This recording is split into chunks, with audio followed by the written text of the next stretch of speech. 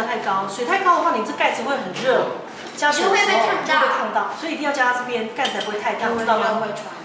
好，我们现在首先第一步，把盖子打开，放在右方，对，盖子要翻过来，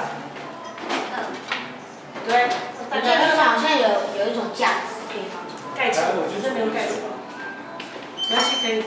好，不要拿着，然后把茶则拿起来，放在左手。起来，茶叶的那个装茶叶的拿起来，装茶叶的那个，东西不对，放回去，装茶叶的。对。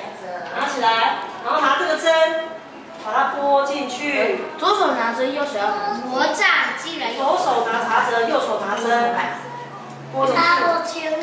好，因为你最快，就是一下子就去，那个最方便。阿布的最困难，跟其实也很困难，因为你的洞口太小了，所以就会撒出去，对不对？那我呢？小心小心。真的撒出去啦。对，撒出去，然后就捡回去，桌子干净就可以捡回去。如果桌子是脏脏的话就不能，所以我们泡茶之前要把擦桌子擦干净，不然如果掉。这个要不要放回去？放回去，因为桌子是干净的。我要先丢进水。那个东西放放到它旁边，茶则盖起来。我请家人慢慢拿，等我一下，我先把我先把这个茶叶丢进去啊。阿姨说她这次茶是干净的，所以你可以把它拿去泡。王庆宇，走吧。没有关系。哇，这边的茶，那我再试那我倒进去。好了，茶则放回去盖到桌子旁边。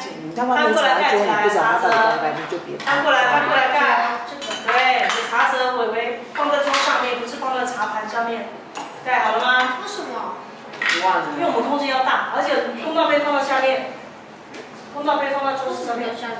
因为这样子空间比较大，我们在看你的时候，你的位置要大大的，不能挤在一起，而且你这样很容易拿起来就看看不到，拿起来又看不到，所以你要注意不要撞到自己。好，我们再加水，把水加多少？八分满，八分满。好，请加。不要超过水转一点点。水加八分满。好，我帮你。好，王庆宇加八分满，只能加到这里，王庆宇。他怎么能用左手？你要用右手吗？小心哦。小心烫哦，是烫水哦。哇。